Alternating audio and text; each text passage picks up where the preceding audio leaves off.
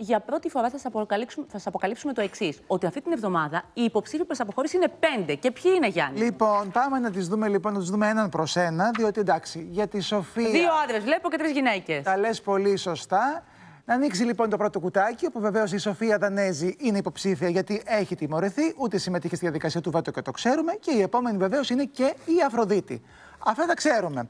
Πάμε να δούμε τώρα τι έγινε στη χθεσινή λοιπόν ψηφοφορία και τι ψήφισαν οι, οι υπόλοιποι παίκτες. Ο τρίτος λοιπόν είναι ο αντιδήμαρχος, ο κύριος Χρήστος. Κλασικό. Κλασικά εικονογραφημένα. Η επόμενη για δεύτερη φορά υποψήφια είναι η Ραμόνα.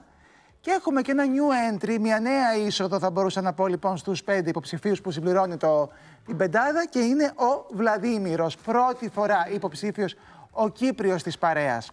Τώρα, πρέπει να σας πω όμως ότι εκεί υπήρχε και μια ισοψηφία. Δηλαδή, ουσιαστικά θα μπορούσαμε να πούμε ότι είναι πέντε, ας πούμε, ήταν έξι ουσιαστικά τα πρόσωπα τα οποία θα μπορούσαν να βρεθούν στον τάκο. Όμως, η Άννα Ποια ήταν Μαρία. η ισοψηφία, η η Άννα Άννα Μαρία Μαρία με τον- ήταν η έκτη.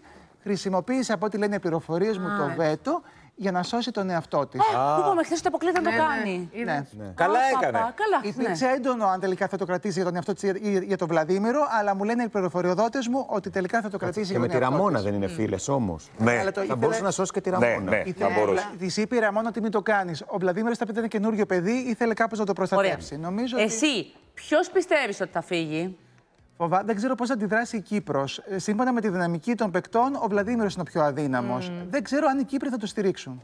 Γιατί να μην τον στηρίξουν. όχι. Συνήθω έτσι γίνεται στα reality. Ναι, ναι, ναι, Στηρίζουν ισχύει, τα δικά τους ισχύει. παιδιά. Παιδιά όμως έχει μια πολύ ενδιαφέρουσα ιστορία και Ναι, είναι ναι. και πολύ γλυκό παιδί. Δεν Γιατί είναι να όμως φύγει ο τόσο Βλαδίμηρο. ισχυρός μέσα στο παιχνίδι. Δεν έχει δημιουργήσει. Ναι, αλλά ο κόσμος δεν προσωπικότητα. ψηφίζει. Για αυτούς Ο που κόσμος ψηφίζει. παρακολουθούν όμως, Κατερίνα, και που πορώνονται και που ψηφίζουν, ο Βλαδίμηρος είναι ένας παίκτης που περνάει διάφορα μέσα στο σπίτι. Ωραία, να ρωτήσω στο Twitter, hashtag ευτυχείτε, ποιος πιστεύετε ότι θα φύγει; Γιατί εσείς στο Twitter ξέρετε καλά από τους πέντε. Θα Έχει, δούμε. έχει όμως σημασία και το γεγονός ότι η ψήφος είναι θετική.